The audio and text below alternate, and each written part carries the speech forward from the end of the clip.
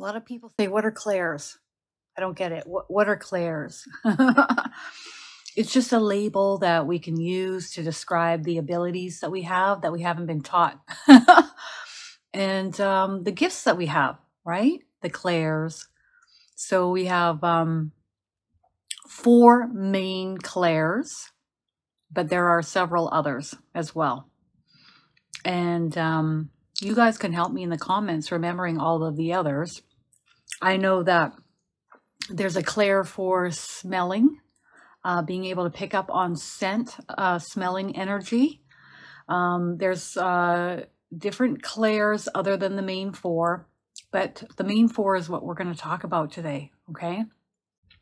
If we look at the 4 mm-hmm, we need the practice.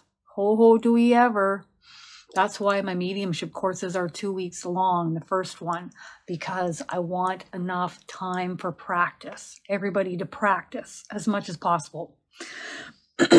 okay, so if we look at the four main clairs, okay, um, we have clairvoyance for clear seeing, uh, clairaudience for clear hearing, clear sentience for clear feeling, and then we have claircognizance for clear knowing.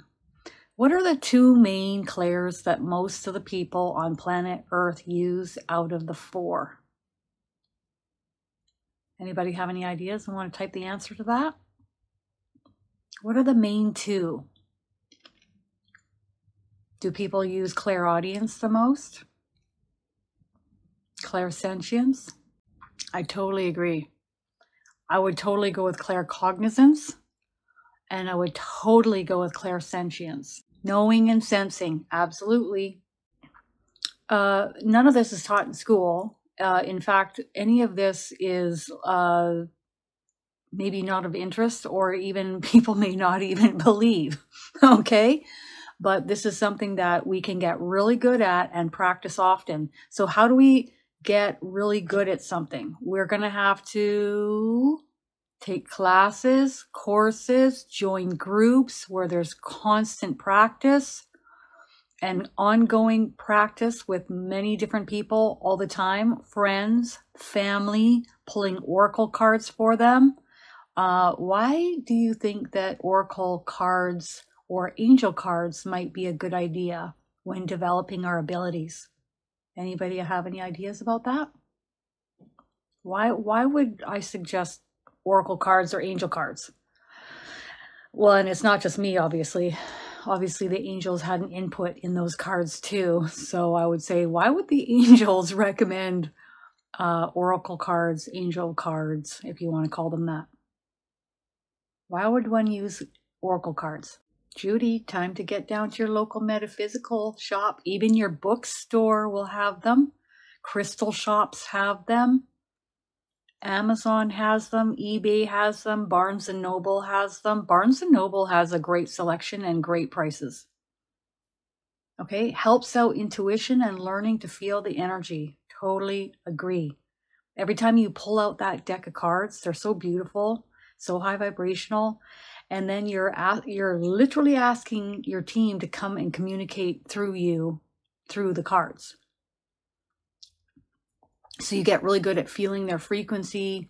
Also, when they come and they operate through you to use the cards, they're opening your chakras, they're opening your channels. Mm-hmm. Working with your guides and your angels. You're welcome, Judy. They help me to tell a story. Oh, I totally agree. Like in the beginning, um, you have questions and you're uncertain about certain things. You can ask a specific question or you can just see what they like to say through the cards. But what's really fascinating is how they choose a card uh, here and they line it up and it tells a total story with card after card. Sometimes they'll have you move to the left, sometimes to move to the right. How do you know when you're to move to the left or right over the cards? With the cards being here and your hand just hovering above the cards, waiting for them to guide your finger down to the cards, or you may feel like you're looking at a card or there's energy pulling towards the card. You might get heat, tingling, warmth. So see if that resonates with you. Everything I relay Anything you hear from me, anything you hear from anyone at any time, anywhere, any place, including your own thoughts that pop up in your head, you're going to sit back and see if it resonates with you. Do I really want to continue having these thoughts? Do these thoughts feel good? Does my, my repeated pity party for one feel good on a daily basis?